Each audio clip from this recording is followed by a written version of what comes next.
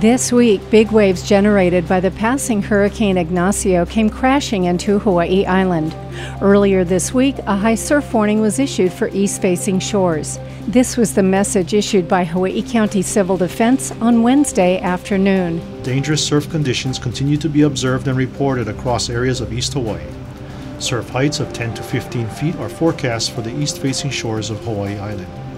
Residents along the coast and in low lying areas are advised to take necessary precautions. Beachgoers, swimmers, and surfers are advised to exercise caution and to heed all advice given by ocean safety officials. On the Hamakua coast, the high surf forced the closure of the Laupahoehoe boat ramp.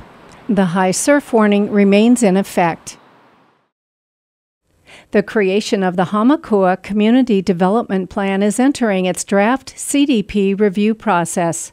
Steering Committee member Farah Marie Gomes recently gave an update on the CDP during a community meeting in Honoka'a. The Hamakua Community Development Plan next month is going to start our um, community input process for the actual Hamakua Community Development Plan, CDP.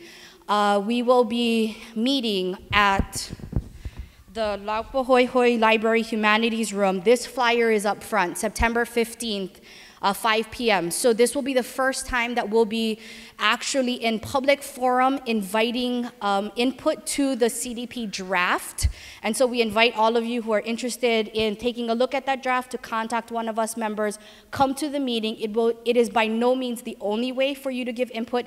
It is the first step of our process, but it is also an exciting part of the process because we can see the light at the end of the tunnel at this point.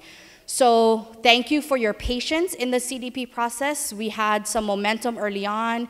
We hit a plateau, but we are at the point now where we're going to forge forward and hopefully um, very soon have a plan that we can submit to the Planning Commission and then from there to the County Council um, for final step to be put into ordinance, and it will be our plan for our future. And also, thank you to every one of you who gave um, input already in the values and vision step. Some of you may remember that we had flip charts and pens. Um, that was very helpful because that is the basis upon which the CDP plan, uh, the CDP has been founded. So mahalo.